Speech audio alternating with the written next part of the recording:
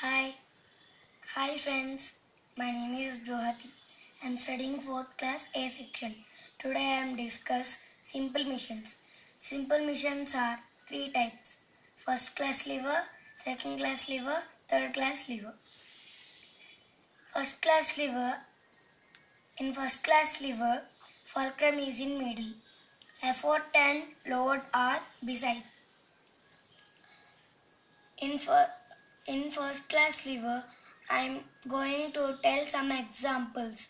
Those are hand pump, scissors, beam balance, coat hanger, seesaw, claw hammer, cutting plier, cutting plier, punching machine, etc.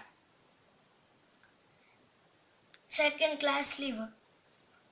In second class lever, load is in middle. Effort and fulcrum are beside.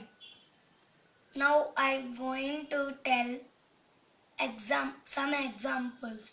Those are nutcracker, wheelbarrow, bottle opener, vegetable cutter, gripper, lemon squeezer, etc. Third class lever. In third class lever, effort is in middle.